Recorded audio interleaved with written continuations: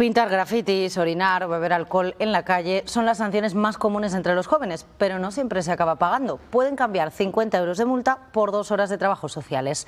Por ejemplo, en la Fundación de FEA de Asistencia a Discapacitados de Zaragoza, el año pasado 127 jóvenes hicieron ese tipo de trabajos. 9 de cada 10 sanciones son por haber hecho botellón. Alexandra es voluntaria en la Fundación DEFA. Llegó como alternativa a pagar una multa de 100 euros por un comportamiento incívico y decidió sustituir el pago económico por horas en beneficio a la comunidad. Cumplió las que le correspondían, pero no ha dejado de ir.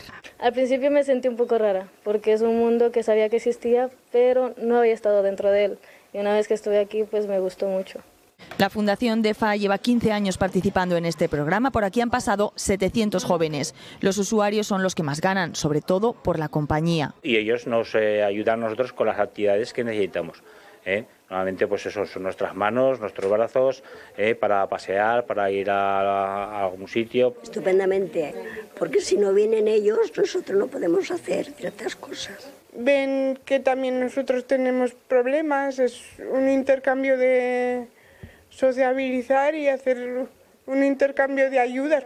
Hacer botellón, pintar grafitis, orinar en la calle o no recoger los excrementos de las mascotas son las sanciones más comunes entre los jóvenes. 50 euros de multa equivalen a dos horas de trabajos en entidades, parroquias o comedores sociales. Un programa que busca concienciar y reeducar. Porque por un lado ves la realidad de otras personas y por otro lado te conciencias de lo que tus acciones pueden llegar en algún momento a, a ser. Cada vez más jóvenes participan en este programa. El año pasado fueron 127. El 90% de las sanciones fueron por hacer botellón. TikTok, Instagram,